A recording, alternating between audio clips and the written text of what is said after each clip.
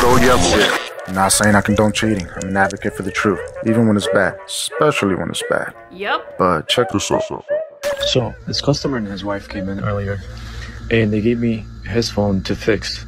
I was like, alright, give me an hour, I'll finish it for you. I came in the bag, I opened it up, and this is what I found inside.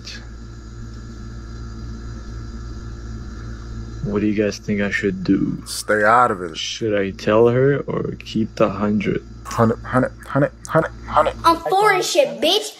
I didn't fix it because, like, I opened it and this is what was inside.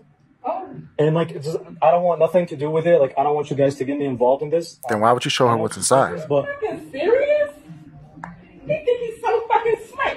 He paid you a hundred dollars to get it broke. I'm gonna pay you two hundred to get it fixed. I want it fixed. I want to see what he been fucking doing. I'm, I want it fixed. I want it fixed right motherfucking now.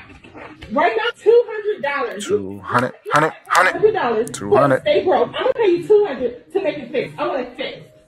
I want it fixed. I mean, I'll fix it for you, but like, I don't want nothing to do with it. Okay? You're already involved. Yeah, like I, I just feel bad because I want you to know the truth, but it's none of my business. Like I don't want to. You involved yourself by telling her the truth. You could have put the hundred back in there and stayed out of it completely.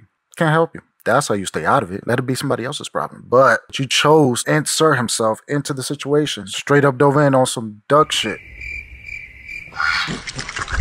Not knowing what the fuck is going on in this relationship. So you can't claim you want to stay out of it, my man. You threw gasoline all over that boyfriend's body and sparked it up. In all honesty, I don't know if I believe this because for them to go to a tech as a couple to supposedly get this phone fixed, and she's obviously there to police the situation, make sure that her boyfriend is telling the truth. Because she obviously knows this man is a schemer. This relationship is top level, hazardous, toxic. Like, I'm sure all the family and friends can feel it. They can smell it every time they all hang together. Excuse me. Everybody knows these two should not be together. The paranoia, she's losing her mind, trying to catch and counter all his bullshit, and the boyfriend is out here innovating the position when it comes to schemes. Because having already anticipated having the girlfriend coming with you to the tech shop and for him to booby trap the cell phone with a $100 bill, it's top notch. Call him a scumbag or whatever you want, but such a masterclass countermeasure. It's gotta be respected. Respect. You can hate him, but can't help it but to give this man his flowers.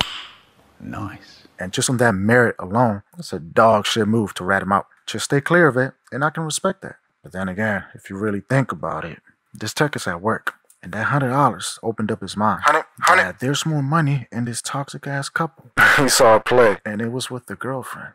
Why make a hundred dollars when you can make two? And if that's what he did, then goddamn it, I gotta respect that too. Can't be mad at a finesse hustle like that. Let me ask you guys, what do you do in this situation? If you're the tech, are you telling? Are you accepting the job for $100? Or you're truly staying out of it and giving the phone back, saying, can't help you. This phone has toxic damage. Yes, sir,